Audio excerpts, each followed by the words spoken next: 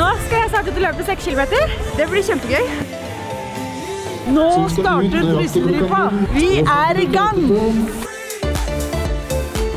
Her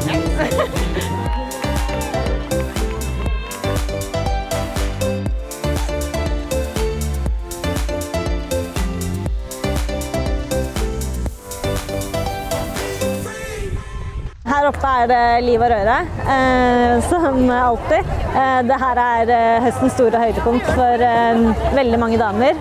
Mange som kommer hit år etter år, og det forstår jeg veldig godt.